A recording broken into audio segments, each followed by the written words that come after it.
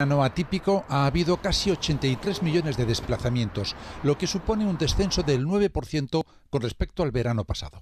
Y esta es la foto fija de la siniestralidad vial. Hubo 185 accidentes mortales con 202 fallecidos durante las primeras 24 horas desde el accidente. La principal causa de los siniestros sigue siendo la salida de vía. Tres de cada cuatro accidentes se producen de esta manera.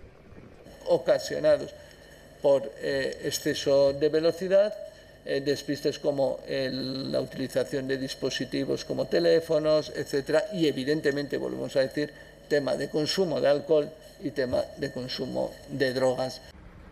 Comparado con el verano pasado, este ha habido 13 víctimas menos, un 6%. Lo más llamativo es que, a pesar de ese descenso de la mortalidad en la carretera, ha subido el número de jóvenes fallecidos al volante. Entre 15 y 24 años que han pasado de 23 fallecidos en 2019 a 38 fallecidos. La principal preocupación de la DGT es ahora las llamadas víctimas más vulnerables, es decir, motoristas, peatones y ciclistas.